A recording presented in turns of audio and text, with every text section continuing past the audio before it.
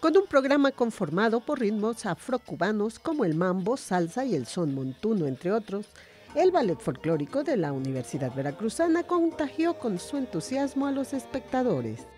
La encomienda era que se pudiera festejar con los estudiantes este día tan importante que es el Día Internacional de la Danza y ya lo empezamos a trabajar en conjunto con el director de la Charlie Big Band, el maestro Raúl Gutiérrez, y llegamos a plasmarlo.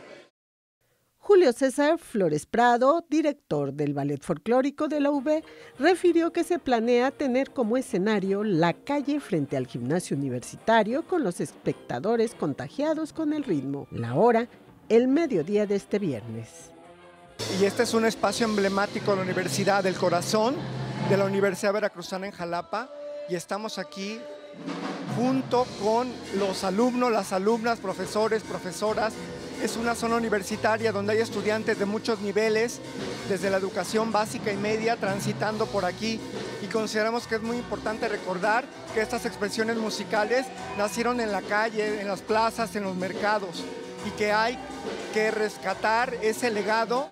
Alfonso Colorado Hernández, director general de Difusión Cultural UB, explicó que el programa conjunta los grupos artísticos con la academia en breve, este programa será presentado en la sala Nexa Tlagna. Berta López Aguayo, RTV.